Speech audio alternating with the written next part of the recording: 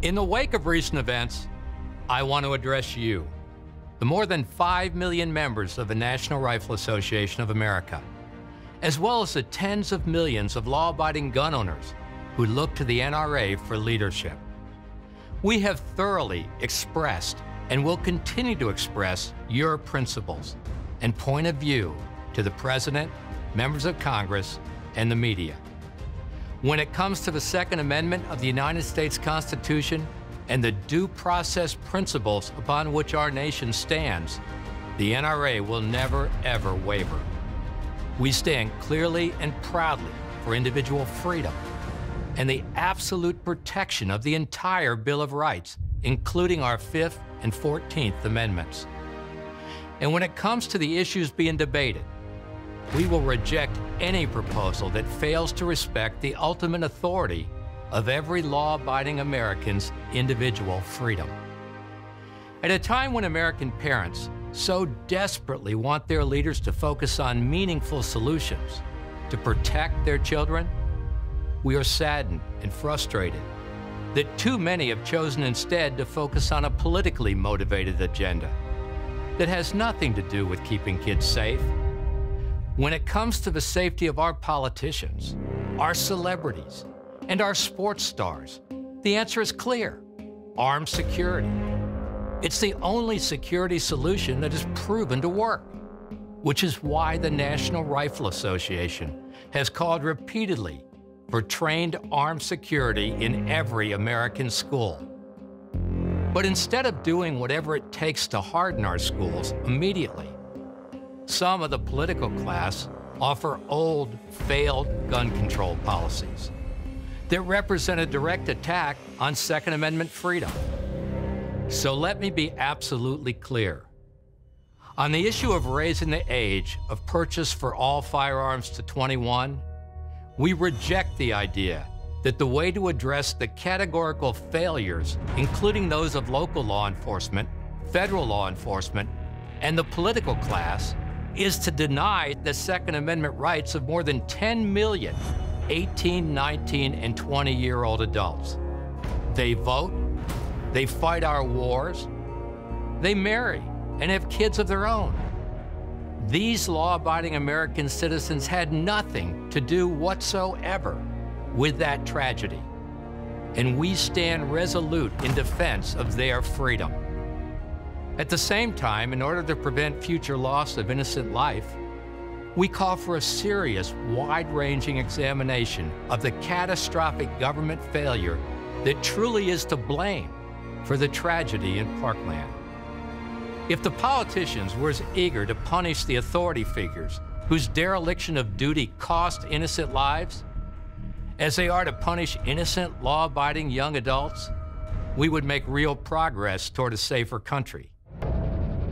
On the issue of the so called gun show loophole, we reject its very existence. Just as murder is not a loophole, it is a crime. An illegal purchase of a firearm is not a loophole. It is a crime.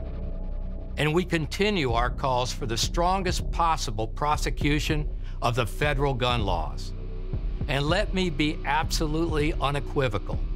We will never support any scheme that forces the transfer of every firearm, including between law abiding family members, friends, and neighbors, under the thumb of government bureaucracy it will quickly become a registry scheme. And history proves that government list making is not a road to safety, it is a road to tyranny. If there is one thing that's been made absolutely clear over the past few weeks, it's that government is way too often unworthy of our trust. We will stand and fight against any sure to fail form of government gun control including any form of a ban on semi-automatic rifles, any form of a magazine capacity ban, and any form of a ban on any firearms accessory. We have repeatedly called and continue to insist that the bump stock device be regulated by the Bureau of Alcohol, Tobacco, Firearms, and Explosives. We remain steadfast in our commitment to individual freedom and empowering law abiding Americans to make their own decisions about the safety and security of themselves and their families. And we are absolutely determined to pass national right to carry reciprocity. We have repeatedly offered real solutions that are proven to work. Put trained armed security in every school. Fix the broken mental health care system. Enforce the federal gun laws against every drug dealer and criminal gang member on the street, which stops them before they get to their next victim. Immediately prosecute dangerous people when they show up to buy a gun. And once and for all, heed our call that has gone unanswered for over 25 years. Force every state to submit the name of every last prohibited person into the background check system.